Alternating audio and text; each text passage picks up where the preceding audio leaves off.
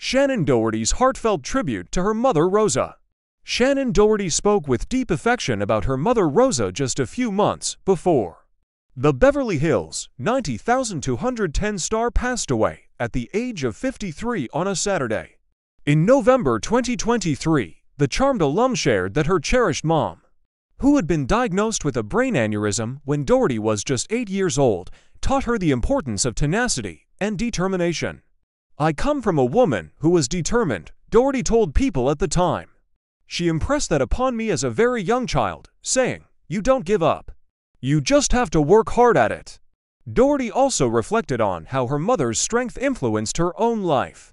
I think I was always a fighter. I was raised to be very strong and to believe that I could achieve anything I set my mind to. Following her breast cancer diagnosis, Doherty turned to her family for support. I don't think there's a decision I make without considering my mom, she said. I love her, and I am incredibly grateful for her being an amazing mother. I also consider my brother, his children, my dog, and my animals in my decisions. Doherty frequently expressed her love for Rosa on social media. She posted numerous images with her mom over the years and celebrated Rosa's 76th birthday with a heartfelt post in December. Happy birthday to the best mom in the world. I love you to the moon and back times infinity she captioned the photo. In April, on her Let's Be Clear podcast, Doherty revealed that her mom was her priority as she battled cancer. Because it's going to be so hard on her, I want other things to be a lot easier, Doherty said. I don't want her to have a bunch of stuff to deal with. I don't want her to have her storage units filled with furniture.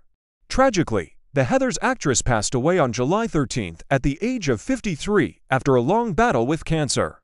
It is with a heavy heart that I confirm the passing of actress Shannen Doherty. On Saturday, July 13th, she lost her battle with cancer after many years of fighting the disease.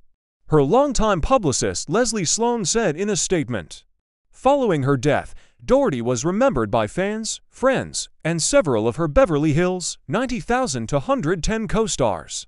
The devoted daughter, sister, aunt, and friend was surrounded by her loved ones, including her dog, Bowie. The family has requested privacy to grieve in peace.